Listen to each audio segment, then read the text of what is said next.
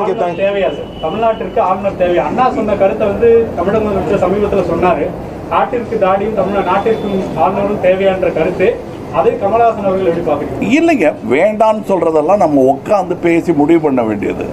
அதற்கான ஒரு இடம் தான் அந்த பச்சை கிணறு ஒன்று இருக்கிறது. பெருசாக தோண்டி வச்சுருக்கோமே. அதில் எந்த விதமான புதிய ஊற்றும் வராததற்கான எல்லா வழிகளையும் இவங்க சத்தம் போட்டே செஞ்சிருவாங்க அந்த பார்லிமெண்ட்டில் அதை ந நல்லபடியாக செய்ய வேண்டும். நல்ல அரசியல் அங்கே நிகழ வேண்டும்.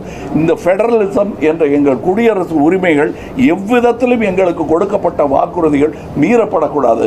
ஆயிரத்தி தொள்ளாயிரத்தி ஐம்பதில் கொடுக்கப்பட்ட வாக்குறுதிகளை மீறினால் அது தேச துரோகம் என்று அவர்கள் சொல்வதை திருப்பி சொல்லுகிறேன் நான்.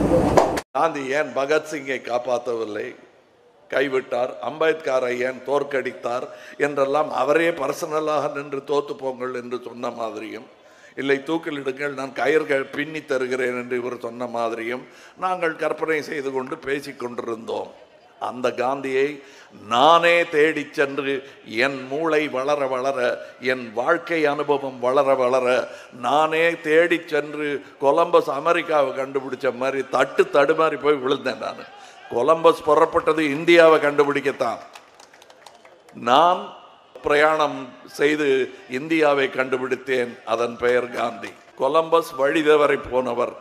நான் சரியான வழியில் என்னையும் அறியாமல் சென்றடைந்தேன். என்பதுதான் உண்மை.